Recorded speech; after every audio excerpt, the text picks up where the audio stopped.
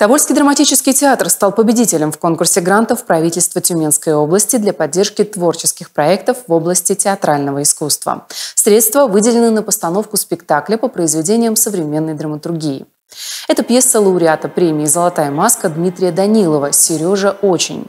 Премьеру в жанре демографическая драмеди тобольские зрители увидят уже в сентябре на малой сцене. Режиссером-постановщиком выступит актер театра Алексей Лалаев. Он обучается в Российском институте театрального искусства ГИТИС, режиссерская мастерская Иосифа Рейхельгауза. Алексей уже ставил спектакль на тобольских подмостках. Трагикомедия «Без звезд» много лет притягивала молодежную аудиторию.